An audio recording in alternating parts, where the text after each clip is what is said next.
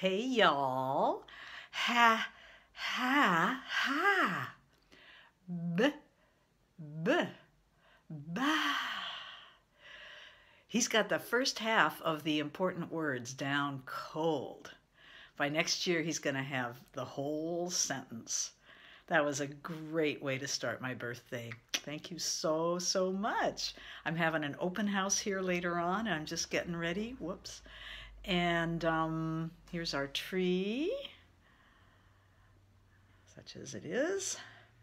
And here's Anita's tanka.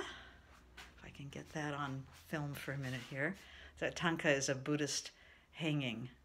Wait, wait, where is it? Oh. there it is. Okay, there. Anita's going to be cooking Nepalese momo today, which are sort of like dumplings. And I am making, I made a big soup and I've got, uh,